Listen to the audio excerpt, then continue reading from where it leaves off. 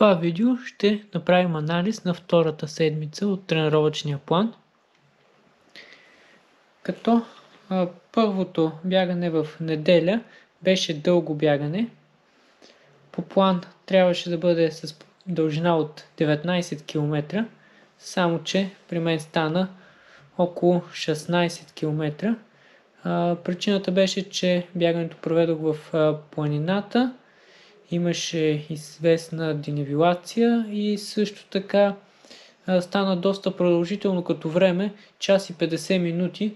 Ако бях продължил да направя още километри до 19, ще да стане много дълго като време. Все пак темпото е бавно в планината, така че въпреки, че е само 16 км, като време е много, с това пак можем да си го считаме за дълго бягане.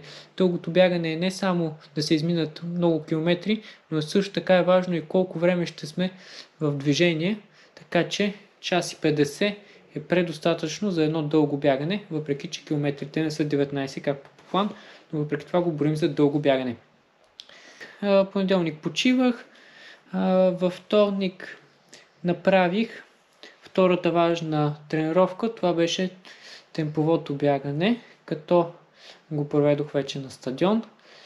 Загрявка около 3 км и след това направих 5 км, като темпото беше ето 3.52, 3.51, 3.51, 3.50, 3.50 по километри с темпо около 3.50, което ми е темпото за темпово бягане. Това беше около 19 минути и 15 секунди. Аз исках да е около 20 минути темпово бягане. Мисля, че това е. Беше предостатъчно. И след това още няколко километри за разпускане цялата тренировка. Общо 11 км. Сряда отново направих почивка и не съм бягал. След това четвъртък тренировката беше бегови упражнения, като 2 км леко бягане и бегови упражнения около 30 минути. Петък направих леко бягане около 14 км.